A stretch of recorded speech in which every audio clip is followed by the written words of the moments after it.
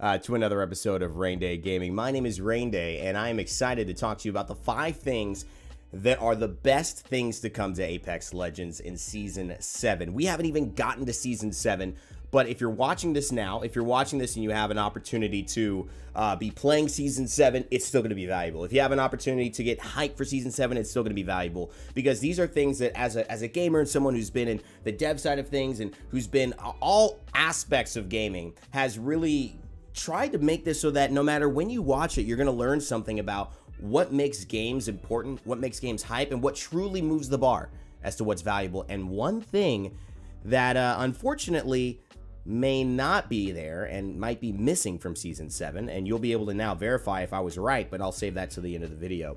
Uh, thank you so much for watching. Biggest thing you guys can do, everybody who's on stream, all the concurrents, everybody's watching the video, uh, make sure you guys know one big piece of news before we get started. There's a new trailer coming out, launch of season 7 trailer. These are always big. Go ahead and set a reminder for this or set a reminder for my stream because I will be streaming this. And if you're watching this 24 hours later, know that this video is already out on my channel or I'm already live streaming this. So make sure uh, that you hit the notification bell and subscribe with all notifications turned on for my channel pause this video, go watch that, and then come back because this is going to be hype. You, you, you, cannot wait for this. They announced it today, 8 a.m. I will see you guys uh, there, and I'll be seeing you there as well, especially if you're catching this a little later.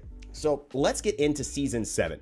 I'm so excited about this. What's up, Rainstorm? What's up, everybody who's jumping in? Everybody, all the members, everybody coming through. We appreciate you guys. Let's get talking about what makes Apex Legends Season 7 special. And the TLDR is really going to be in the details. Now, one of the huge things about the details, and not just this ranked aspect, but really the new updates coming through to Apex Season 7, uh, is, is really what are these new legends? What are these new characters? And what are they bringing to the table? I'm not sure if they've actually put Horizon in here yet. Uh, but one of the ways that's even bigger than how people are bringing things to the table is where they're going. And that leads us to number one, which is Steam the fact that Apex Legends is actually coming to Steam uh, really is, I believe, one of the biggest things that you will see. Now, although Nintendo is not launching, as you guys have found out, Chad mentioned that it's not launching till later. They need a little bit more help. Steam is really one of the biggest things, and you guys don't actually understand how big Steam is. Steam has 90 million as a, as the last stats that have been checked. 90 million monthly active users. Now, what does that mean for for somebody who's essentially you know looking at uh, what happens when I am putting a game onto a platform. Well, let's look at this. Say you're a grocer or you're, you're trying to create products for grocery stores and you're selling at your local mom and pop shop. You make these great chips. Let's call them rain day chips. You know what I'm saying? Let's call them rain day chips, okay? If you go ahead and you make rain day chips and mom and pop likes them, everybody says, yo, man, these chips are crazy. You got to take these to, you know, public, but you're making only a hundred bucks because, you know, only five, ten people buy them a month, but they all love them because they're at the local mom and pop that's like what any launcher is of a game. Smite has it, uh, you know, Origin has it, but EA is just such a bigger company, it's amplified. But Origin is just a launcher that is just for EA games. It's the mom and pop store of EA games. That's all they've got. Um, Steam is is like Whole Foods, Kroger, Ralph's, Vons. Uh, it's like Walmart. It's like Costco. And so if you're able to get your game into or your chips from the mom and pop store to the Costco aisle or to the Kroger aisle or to the Ralph's aisle or Whole Foods, wherever you're at, the customers, the traffic is going to be so much bigger that you're going to have because you're going to have access to such a bigger audience and a more eclectic audience of people who would never have discovered your chips before. And that could mean that that little move makes your chips successful chips for the rest of your life. That's one of the more interesting things I think about why Steam is so big. It's the exposure that may be all your business needs. I mean, think about this. Does this make sense to you? Sometimes you guys have great ideas, but you don't know where to take them or you don't know what, you know, what the value is. Uh, eh, you know, not, somebody like won't get you in the door or you have something that you want to promote, but you need money to back it. I mean, that little bit of exposure, that little bit of cash influx, all that needs sometimes is to take a brilliant idea that's waiting in the wings. A game like Apex is already set to succeed. It already has succeeded. It's got season 10 planned out already putting it on Steam is going to be an amazing thing. And this is one of the best things to happen in season seven. Don't underestimate it. Don't look at like, oh my God, I just need, you know what I'm saying? I just need a new weapon, a new character. I'm good. No, no, no, no, no. This, this is like the game. This is like going to worldwide. Okay. And one of the coolest things that if you'll notice actually Steam monthly active users, I'm spending a long time on this because there's a great article that was written that not just worldwide, you see 95 million. But one of the interesting things that I remember reading about it is where those where those markets were from and how it's become increasingly worldwide in the fact of Asia is now 21% of the main marketplace in Steam, whereas I believe in like 2012 it was almost zero.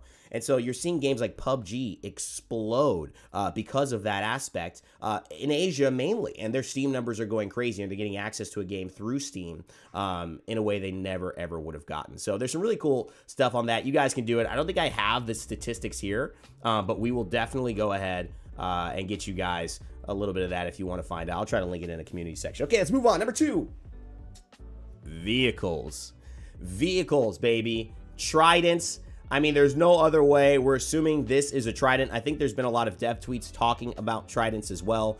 Um, vehicles are a huge aspect to games having success at all levels of play. And let me tell you why. The first big part about vehicles is that there's something fun and fresh about movement that everyone loves. Whether you're a good player or a bad player, you like moving. Different ways to move, whether it's jump roping, it's it's it's grappling, it's taking a gravity whatever, it's uh, doing a jump pad. These are all fun things for gamers, right? We all know that. Um, and so the idea that we're having vehicles adds something that everyone can enjoy. It's not just a legend like, oh, you know, maybe that's for me, maybe that's not for me. Maybe those abilities are busted. Vehicles are just really fun. Two, it gives something to a lower level skill to contribute to those crossplay games that kind of frustrate us all. Like, think about it. When you have players who are playing crossplay and they're essentially running up against pro players or people who are on PC and they're a console player, you know, partying with their really fun friend who's in a lobby of, you know, high level, um, uh, really good players how are they going to contribute to a gunfight? Well, maybe they're not, but they could contribute to driving the team around. They could have an experience in game that's memorable because maybe a trident takes takes people there. They run somebody over if they allow that. I don't know. Uh, and they also contribute to the fight in a way that isn't just hitting your shots because I think that's what players at a lower skill or who are playing with people who are much higher than them struggle with. Hitting your shots, movement. That's those are the two hardest things. But if you can contribute and have fun, you still want to keep playing. And that is what things like vehicles really, I think, allow players to do. And so vehicles coming in in this season is going to be, I think, one of the best things that they've done. I think it not only makes it more fun for everybody, but it really adds a cool mechanic. And then also, talk about diversity of fights. You can't just diversify it because of weapons. This changes the weapon meta. You know what I mean? What weapons will be more valuable based on if vehicles are in the meta? How will rotation shift? Like, how are you going to rotate? What does that mean about the end game in circles? Can you can you stay later? Can you outrun the zone? How how mobile will this be? How big will the map be?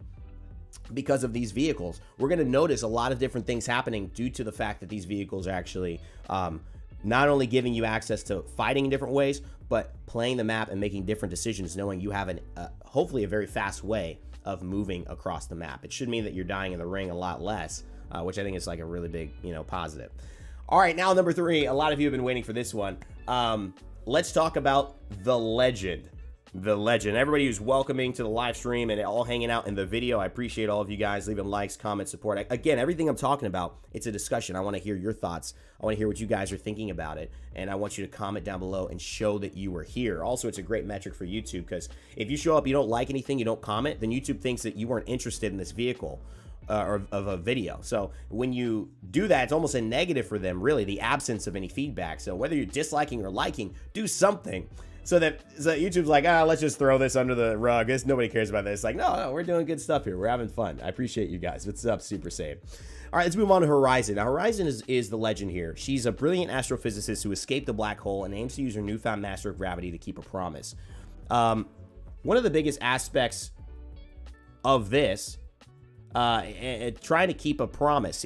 This this story that was unveiled on Apex Legends Twitter and then their YouTube yesterday, uh, which was maybe one of the best cinematics that I've seen in a long time.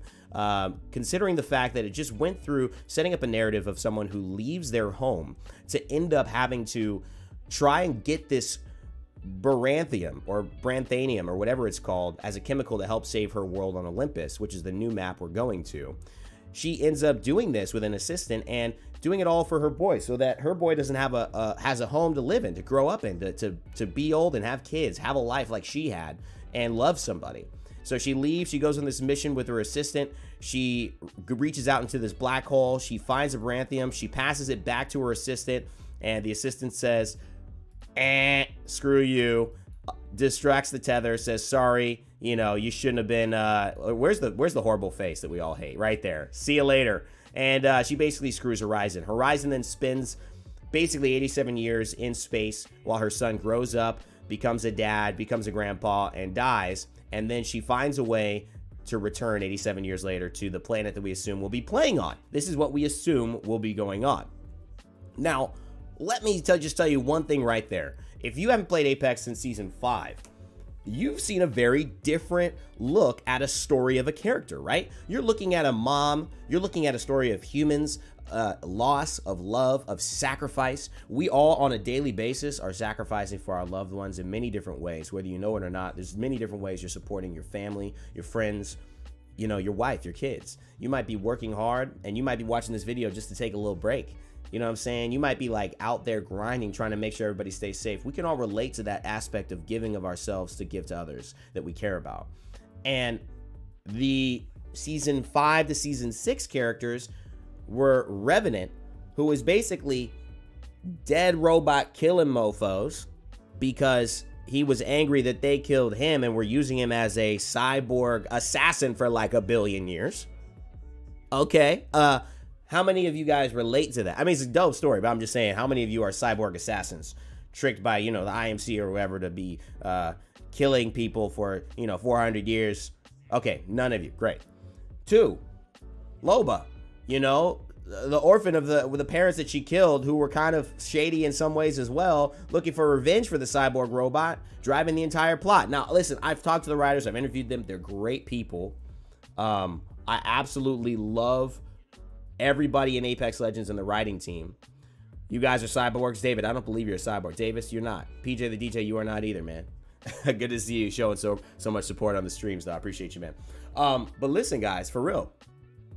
It, the relatableness to I think what humans on an outside perspective can can relate to it's not it wasn't there as much with with Loba and with Revenant but I think in this season we're gonna see a story that grabs people a little bit more. Um, if I could look this up, I believe it was Tom Casiello, um, uh, who actually mentioned that in season seven, you're going to see all of these stories really come together. Um, and when I see season seven has been in the works since Apex launched, it's no exaggeration. Multiple stories are about to explode, so keep playing and keep following Play Apex because you never know when or where the next twist will happen.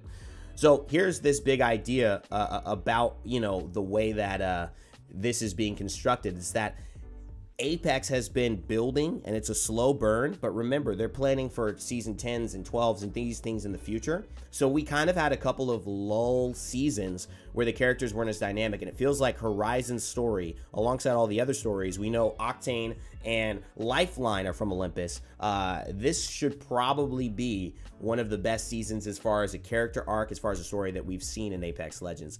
And so that's one of the reasons uh, to be really hyped. And it's one of the best things I think that this season is bringing, just the storytelling in general. And I can't wait to see what, what happens as well with this new, this, uh, this new one coming through. This is going to be crazy, guys. This is going to be absolutely, absolutely nuts. I cannot wait. Um, all right, so now let's move on to the number four thing. You guys all know it. You guys love it. You guys are excited. Olympus. Now, Olympus is a new map. And this is something that we thought. Let me walk it back here as to why this is so important. Because some people may not realize how important this is. Let me walk it back just for a second. At the end of season five, we go into a bunker that is opened. And in that bunker, we find a robot that many people say is this lady who betrayed Horizon called Ash, who is a simulacrum, or turned to simulacrum right there. She is she is basically now a robot like Revenant was. And she says, we are actually going to Olympus. Now, what's cool about this is that we're like season five. This is this is the best thing ever. We're going to Olympus. And then what happens? Season six shows up. World's Edge. Kings Canyon. Or, wait, Olympus though, right? We're going to Olympus. Aren't we going to? Okay, so I think the developers at this point realized there was a lot of shock in the community that Olympus was someplace we were going, but it wasn't where we were going right away. And it created, I think, season six, when you look back at it, season six might be the season that has the biggest kind of like lull between a really hype moment in Apex Legends and another really hype moment. And I think that it's partly because season five teased Olympus and we didn't get that. And we got a new weapon, which is something that was interesting because I think a lot of people started to think that weapons were the reason people would come and hang out and be in Apex and play again and, you know, blah, blah, blah. But I actually think weapons are more for the hardcore base who's played every day. If you're a dude who just shows up to play Apex and have some fun, you don't even have time to learn the weapons that have been in the game since the original season. You're just like messing around. You play 30 minutes a week, an hour a week. You don't have time to get tired of any weapon. So a new weapon is almost like it doesn't even matter. It's for the it's for people who have played this game for a long time. So the fact that we missed out on this season, I think, uh, was a little bit an Olympus last season was a little bit of a downturn, and I think it it kind of created the biggest lull in Apex Legends history. But I think we're out of that now. And that's why I'm so hype about this new season. We're finally going to Olympus. This is what people really wanted to get done. I can tell India in Braceface, he says, I was so disappointed by season six. Uh, Hayuka, he says, the weapons were already in good state. Why were we trying to, you know, why are we changing that? Uh, also, Blazemaster Gaming, he, he says that uh, the comic strip Ash talked to who I think is Blisk. So if the assistant was evil, then she was working for Blisk, because in the comic strip, Blisk says long time no see. And we know Blisk recruits for the Apex games. He also recruited Rampart at the beginning of Season 6. So what does Rampart have to do? She may not have had uh, as big a say as we will see her have in a little bit. But again, Season 6, uh, some people saying in chat as well, it, it was very buggy. That might be the case. But what they did was they set up this idea this map was coming, and it never came and now it is actually coming. It's one of the biggest things I think for this season. Um, and let's just talk one more reason about why, because this is really one of the biggest issues. And then we've got one more huge point that I think is bigger and no one is talking about. Like people are kind of talking about, no one's really talking about how big this is. And the last one, which I don't think um, uh, we talked a little bit about, but I also think that uh, we not sure if it's coming. It's missing currently. We'll see. We don't have any information on it, but it's the last thing I want to I want to mention in this. The last aspect of the map is that when you have a new map, um, and especially when you have a new map that's getting um, a lot of love. Remember, in ranked, no Kings Canyon, so it'll just be Olympus and World's Edge. You have a new world to be in, and this is what people want in games. When you want a patch, when you want something, players they want new. You know, you go you go to a place and you're spending your time. You guys have very valuable time. I know you do. You guys are all trying to do big things in your life. You're all trying to make things happen. You're all grinding for something in some way, in your own way. Uh, I'll try and take care of your health or I'll do this. So when you sit down and play a game, you know, you want it to be new and fresh and feel like this is serving you for the experience you're looking for. And a new map gives that to people. By the looks of this map, by the looks of what we've been able to see, not only at the end of this video with whatever this is, right? This little kind of like, what what is this? There's a little gravity. Looks like a like a black ball. Like, I don't know. Hold on, I might have to actually just reset this page you guys see right here on Olympus, between things like this, what is that? Is that just on the map somewhere? Can you go in that? To this, which looks like it's got this towery city area, and again, that black ball as well.